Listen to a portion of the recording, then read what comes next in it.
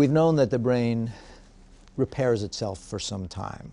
We still don't understand all of the mechanisms around that. There's evidence now that this process of recovery, referred to as neuroplasticity, this ability for the brain to change, goes on for a longer period of time than we thought before.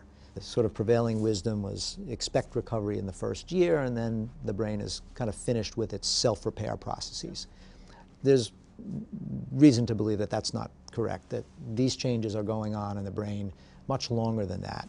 Five and years out, 10 years out? In some cases, probably even more than that. Uh, so I was involved with a group that studied an individual named Terry Wallis who spent 19 years in a minimally conscious state, meaning he had some conscious awareness, but couldn't speak, um, couldn't follow simple instructions consistently, could not communicate. And after 19 years, began to speak.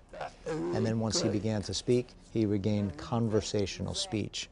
And we had the opportunity to study him twice. He regained the ability to move his legs to the point where he had muscle power that he could push somebody off using his legs where he had no movement the first time we saw him. And then we imaged his brain and found new fiber tracks. Hey Dateline fans, thanks for checking out our YouTube channel. Subscribe by clicking on the button down there and click on any of the videos over here to watch digital exclusives and original content from the creators of Dateline.